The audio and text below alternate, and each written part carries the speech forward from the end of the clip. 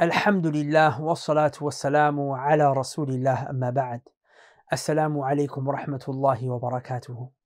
My brothers and sisters, this world that we live in is a gigantic place with our 120 plus countries uh, and our massive oceans that make up more than 70% of Earth.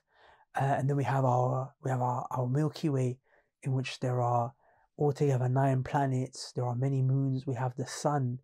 Uh, and when you go above and beyond our Milky Way, we find that there are 100 billion galaxies in the observable universe, 21, 21.6 sextillion planets. Sextillion is, you know, they say million, billion, trillion, uh, quadrillion, quintillion, or quin- quinillion and then there's sextillion. This is the sixth one. There's 21.6 sextillion planets in this observable universe. There is a lot that Allah subhanahu wa ta'ala has created in the heavens. Okay, the earth and the heavens are gigantic. But the question that we have to ask ourselves is why? Why did Allah subhanahu wa ta'ala create these planets and these Milky Ways and these galaxies and this earth and the things that are on earth, the trees, the mountains, the fish in the sea, the ants in the burrow, the humans that live on top, the birds that fly. And why did Allah subhanahu wa ta'ala create all of this? What is the purpose of the creation of this vast heaven and the heavens and the earth? Allah tells us in the Quran, الله الذي خلق سبع سماوات ومن الأرض مثلهن Allah said Allah is the one who created the seven heavens and the earth and the like thereof. Allah created the heavens and the earth. يتنزل الأمر بينهن and then Allah subhanahu wa ta'ala, He sent His command. His command descended between them. Why? لِتَعْلَمُوا All of this, the heavens, the earth, the command descending between them was for one purpose. All of that which I mentioned has been created for one purpose. لِتَعْلَمُوا So that you can know. Know, know what?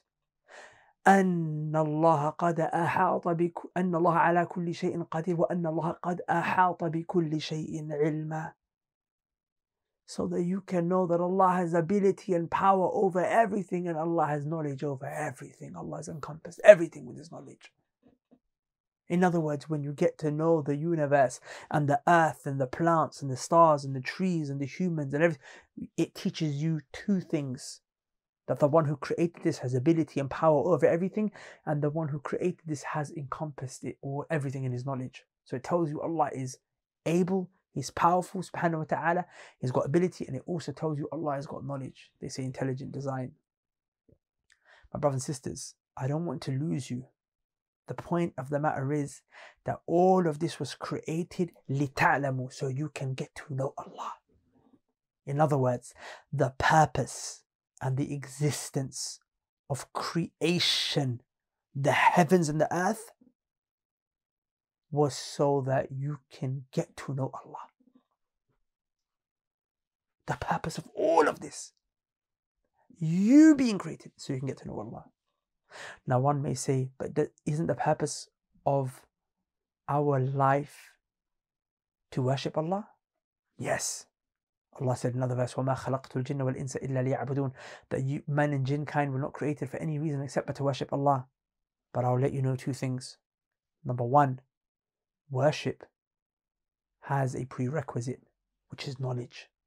Knowledge of the one you're worshipping and how to worship Him. So, knowledge is a means by which you will achieve your goal.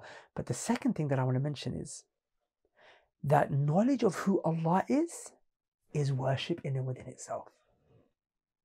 Some knowledge is needed to be able to do worship. Knowledge of getting to know Allah is in and within itself worship. In fact, from the most honorable, the greatest knowledge is the knowledge of Allah subhanahu wa ta'ala and of course then all the knowledges that come with it of how to worship him and so on and so forth. So my brothers and sisters the purpose of your life and my life and everything around us so we can get to know allah my question is in your years of living and in your years of learning many things that you've learned mathematics pythagoras theorem you've read shakespeare you've studied of mice and men how uh, you know to kill a mockingbird you've learned about the water cycle you've learned about the different types of rocks in geography, you've learned about the Tudors in history. How much of your time have you learned How much of your time have you spent learning the foundation for why you were created? Which was to get to know Allah, your Lord and my Lord. If you haven't, then you've not been fulfilling your purpose. But it's never too late. You can begin now. Many of you may be aware that we've been promoting our five year Islamic studies program, which inshallah ta'ala, the deadline for it, the registration closes at midnight tonight, Sunday. Sunday, right now, today, midnight. If you miss this deadline, then you have possibly missed your opportunity to fulfill your purpose in life. Now, it's a five year program, and you don't have to sign up for all five years because the way that we've designed it is that the first year we tell you the most absolute necessary things that you need to know. We teach about Allah's greatest right, which is to be worshipped alone. We go through Aqidah, in which we learn Allah subhanahu wa ta'ala's names and attributes and many other things. You learn fiqh, how to worship Him. You learn tafsir of the small surahs of the Quran. You learn the life of the Prophet. You learn manners. You learn 40 hadith that summarize the key foundational principles of this religion. So even if you just thought, I just want the basics, come for the first year. But a person who has greater aspirations and wants to learn more can come for the full five, can come for two out of three or four or five. Now, if you'd like to register, you cannot register without the Telegram group. You have to join the Telegram group from the link below. If you join that group, it will automatically take you there. If you click the link, it will automatically take you to the group, and then you can, inshallah ta'ala, have a lot of questions that you have no doubt answered within that group. And bi'idhnillah ta'ala, you can then sign up. But know that you have till midnight. Any person who has an opportunity to study about their Lord, knowing that it's the foundational purpose for why they were created, should not pass up the opportunity. Don't say, I don't have time. How do you have time for anything else other than Allah? How, how do you even have time for anything else other than Allah? Allah is the foundational goal of our life to worship Him and get to know Him. To say, I don't have time to fulfill my purpose. That's a very arrogant thing to say. But I'm sure that you're not arrogant. And inshallah ta'ala, you will make time, bi'idhnillah ta'ala. Uh, so click the link below. Um, and uh, hopefully we'll see you on the other side. سبحانك اللهم وبحمدك أشهد أن لا إله إلا أنت أستغفرك وأتوب إليك